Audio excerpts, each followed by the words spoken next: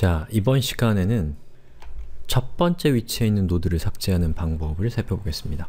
자, 이전 코드를 한번 살펴보면 복습 차원에서 자, 우선 head가 가리키고 있는 노드를 temp로 지정을 하고 있습니다. 자, 이렇게 되죠.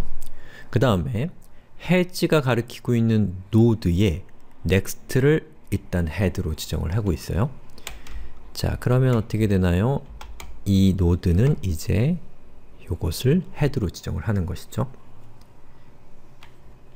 자, 그 다음에 우리가 자바에서 remove를 하게 되면 삭제된 노드가 가지고 있었던 데이터를 어, 리턴해 주도록 되어 있습니다. 자바는.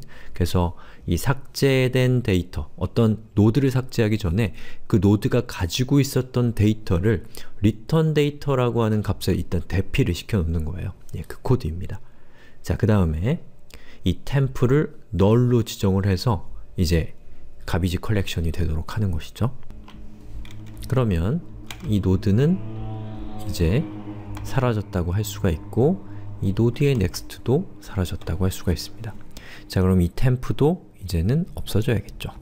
자 이런 상태입니다. 자 그리고 그 다음에는 뭘 해주냐면 이 기존의 노드가 가리키고 있었던 prev가 있었잖아요. 자 이 prev를 없애주는 작업을 하겠습니다. 자 그것은 여기에다가 이렇게 만약 head가 null이 아니라면 새로운 head가 있다면 헤드의 이전 노드를 null로 지정한다라는 그런 뜻이죠. 그러면 끝입니다. 자, 이렇게 하니까 첫 번째 노드가 사라진 것을 볼 수가 있죠. 자, 이번에는 노드를 특정한 위치에 있는 노드를 삭제하는 방법에 대해서 알아보겠습니다. 자, 여기 보시는 것처럼 k라고 하는 인덱스 값을 가지고 있는 노드를 우리가 삭제한다고 하면 어떻게 하면 되냐면 우선 이 부분부터 보시죠. 자, k-1에 해당되는 노드를 temp로 지정을 합니다. 자, k가 현재 1이라고 가정을 해볼게요.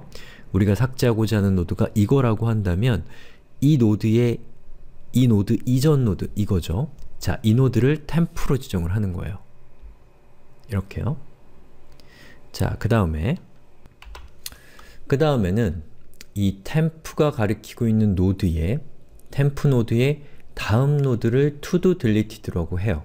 노드를 삭제할 거기 때문에 자, temp의 next 노드는 이거죠. 저 노드를 to-do deleted라고 한다라는 겁니다.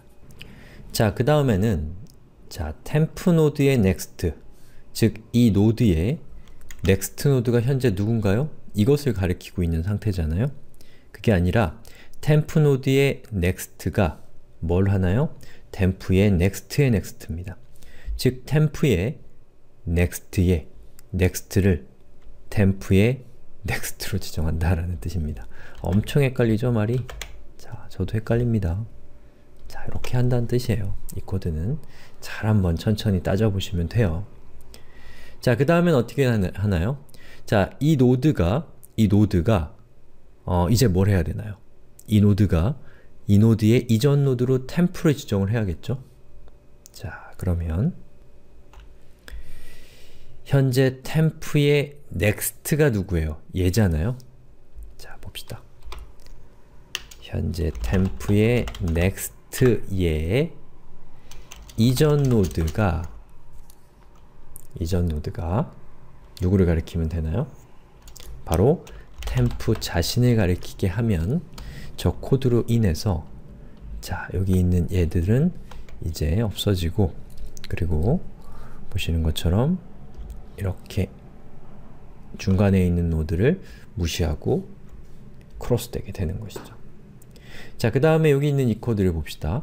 자, 삭제하려고 하는 노드의 데이터, 즉 그 노드가 가지고 있었던 데이터를 return 데이터라고 하는 변수에 피신시킵니다. 왜냐? 삭제를 할 거기 때문에. 그 다음에 어, to-do deleted 즉 삭제하고려, 삭제하고자 하는 노드가 만약에 tail이었다면 이제 tail은 더 이상 삭제하려는 노드가 아니라 예, 이 노드가 tail이 된다라는 그런 뜻인데 지금 요 케이스에서는 해당은 안 됩니다.